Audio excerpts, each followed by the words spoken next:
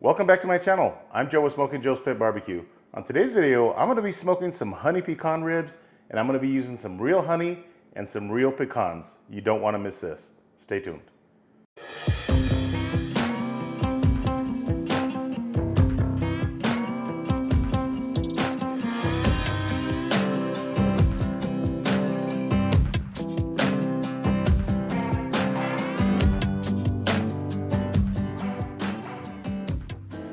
All right, let's get started on these honey pecan ribs. I am starting with two St. Louis cut racks right here, which means there's gonna be very little trimming, if any. In fact, the only thing that I'm gonna remove is probably this rib right here, which is really thin, and this one right here, which is covered with fat. So I'm gonna start with that. Now, if you can find these St. Louis cut ribs, it might be a better deal than buying the whole spare rack, especially with the prices of pork these days. So what I'm doing is cutting right alongside that last bone to give me the most meat possible for this rack right here. So I'm just gonna cut it straight, just like that. Again, there's a lot of fat in here, not good eating. And this one right here is a little thin. So same thing, just cut alongside that bone nice and straight.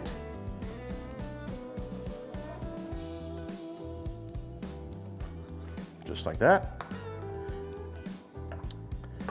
The only other thing that I'm gonna do to these racks is remove the membrane, and I found it easiest to just grab a paper towel and lift up on one corner.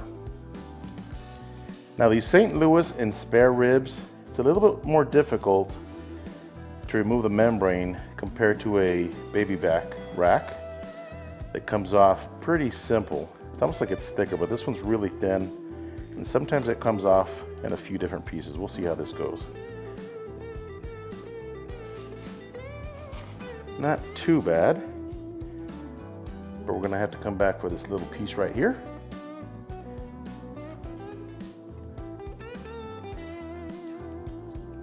There we go.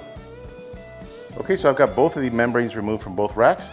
Just gonna add a little bit of mustard as a binder. Don't forget to shake your bottle like I did. Just a little bit of mustard. Don't forget to apply a little bit of mustard to the back side of the rib as well. Now I've been thinking about making these ribs for a long time. I've got a customer, Ceballos Honey, out here in Fabens, Texas. And they gave me some pecans and I've purchased their honey every time I get the opportunity to be out there in Fabens. It's the absolute best honey that money can buy. So that's what I'm gonna be using in today's recipe. The honey from Ceballos Farms and also their pecans. And I can't wait to show that to you guys. All right, so let's rub these down. I am using my homemade SPG, just a light layer. I wanna be using two rubs. This is just my first rub.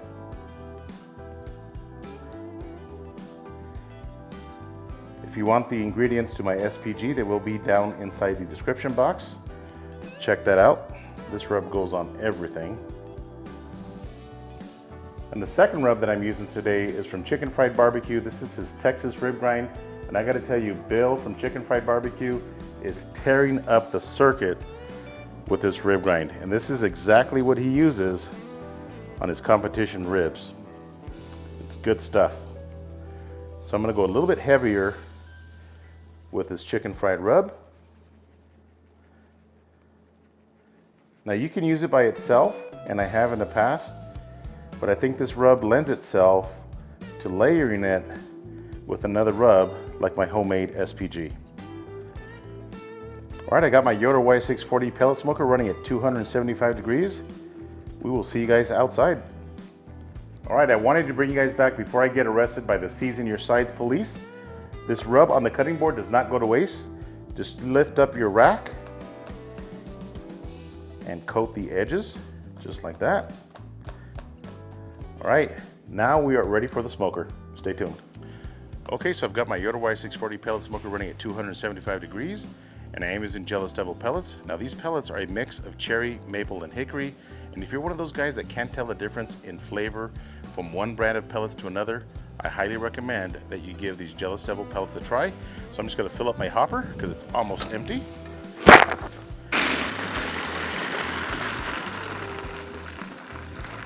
All right, so let's load up our ribs. Here's rack number one. Now these racks are really long, you see that? So what I like to do is just push them together, just like that. Now by doing so, you're able to cut these ribs. You see these little ridges right here?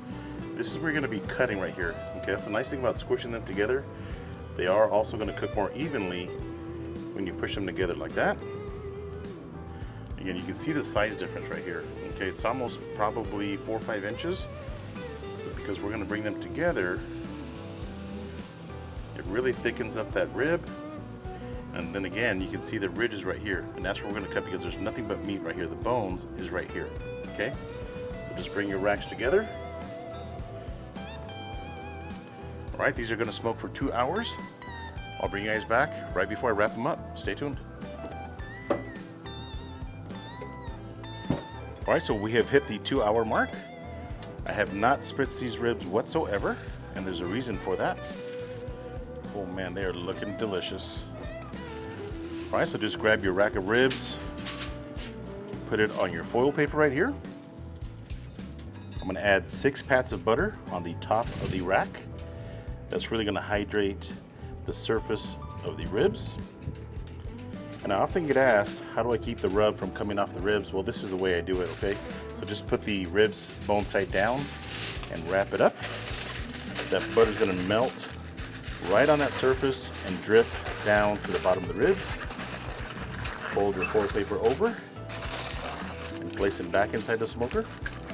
We'll see you guys in about an hour. Stay tuned. All right, so the total cook time has been three hours. Two hours unwrapped, one hour wrapped with a little bit of butter on the top. Let's take the ribs out of the foil. Oh yes, nice pullback, all that butter on the bottom of that foil. So I'm just going to take these out of the foil and back onto our smoker. All right, so as you can see, these ribs have a ton of moisture on the surface. That's coming from the butter and also the rendered fat. So I'm just gonna let the surface dry up for about 15 minutes. So just gonna slide the ribs back inside the smoker. We'll be back in about 15 minutes. Okay, so the total cook time has been three hours and 15 minutes and 15 minutes since we took the ribs out of the foil. So I'm just gonna slide the rack out time to put our glaze on. So I'm just gonna flip these ribs upside down. Ooh, these are cracking already. These are really nice and tender. All right, so for the glaze, I am using the Sucklebusters Honey Barbecue Glaze mixed at 50-50 with some real honey, okay? This is a real honey from Ceballos Honey. And I just warmed it up in a saucepan. I do have it right here in this convenient squeeze bottle. So just gonna squeeze some on the bottom side just a little bit.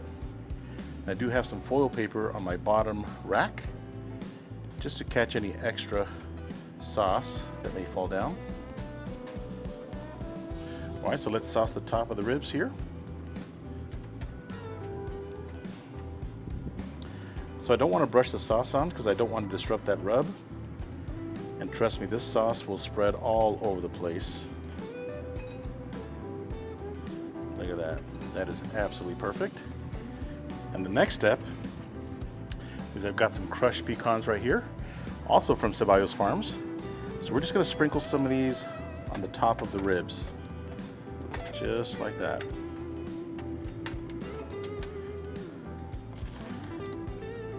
This is gonna add some really nice texture and also flavor to our ribs. All right, so we have our honey barbecue glaze on the ribs and also these pecans. Just gonna slide the rack back in, let those pecans get nice and toasted for about 10 minutes. Then we'll see you guys inside. Stay tuned. All right, so the ribs are ready and the total cook time was right at three and a half hours. So I just had them resting for about 10 minutes. So I'm just gonna pull this rack right here and that's the one that we're gonna slice up. Ooh, and this is sticky and extremely tender. All right, so first of all, these ribs look and smell absolutely amazing. I know that these pecans got a little bit toasted, so that's gonna give it some extra flavor and got some really nice pullback. And as I mentioned earlier, when you pull your ribs together, they get really nice and thick, and that's what we have right here. So you can see the meat right here in between the bones, and that's exactly where we're gonna slice. So I just got my Dalstrong slicer right here. And some of the pecans are gonna get in the way, but some of them will get sliced in half. Look at that. Look at how tender these ribs are. It takes very little effort to cut these bones right here.